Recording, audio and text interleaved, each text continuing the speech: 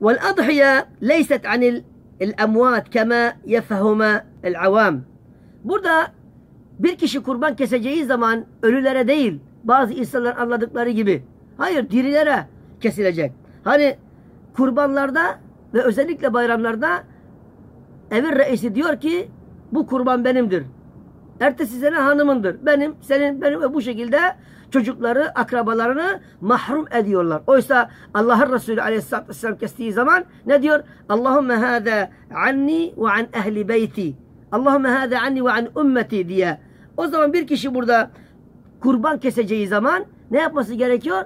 Allahümme hâzâ anni ve an zevceti ve an evlâdi ve an benâti ve an yani kimi zikrediyorsa aynı onun ecriyle kesinlikle bir zerre kadar noksas, noksanlık olmaksızın aynı şekilde onlar da gitmiş oluyor. Neden bu ecirden onlar mahrum oluyor?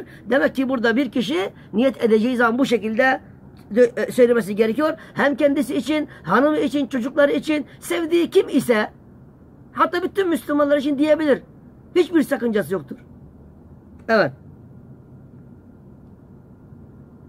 Bel lil ahya dirilere وأما الأموات فليس من المشروع أن يضحى لهم استقلالا إلا أن أوصوا به.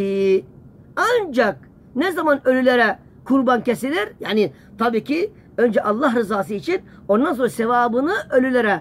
Ne zaman? Eğer onlar vasiyet ederlerse oğlum her kurban bayramında bana bir kurban keser misin evladım diye bu şekilde vasiyet ederlerse bir sakıncası yoktur. Feala ma avsu bihi lianne zâlike lem yerid alen nebiyye aleyhissalatü vesselam. Sadece vasiyet ederlerse bir kişi kesebilir. Yoksa diğer tarafta Allah'ın Resulü aleyhissalatü vesselam'dan kesinlikle bu şekilde gelmiş değildir. Tavsiye etmiş değildir. Ve emmel akika, akikaya gelince bu çok önemlidir. Kardeşler bakınız. Ne demek akika? Yani buradaki Allah'ın Resulü Aleyhisselatü Vesselam'ın beyan ettiği gibi mesela hanım doğum yaptı. Eğer iki, er- iki, iki erkek yani dünyayı getirirse yok e, bir erkek dünyayı getirirse iki tane koyun kesilir. Bir kız ise bir koyun. Yani erkeğe iki, kıza bir olmak üzere Allah Resulü Aleyhisselatü Vesselam tavsiye etmiştir. Ve yedi güne vardığı zaman saçı kesilir ve saçı ağırlığında altın ya da gümüş altın ver artık yarım gram mı çıkar ne bu sünnettir. Verilirse sünneti yerine getirmiş olur ve orada kurbanlarını kesilmiş olur iki tane. Gücü nispetin eğer gücü yoksa bir tane kesmesinde bir sakıncası yoktur diyor burada alimler. Ama kız bir tane kesilir. Allah Resulü bu şekilde tavsiye etmiştir. Ama ama biliyorsunuz e, gücü muktedir olmasına rağmen birçok Müslüman bu akika ibadetini ihmal ediyor.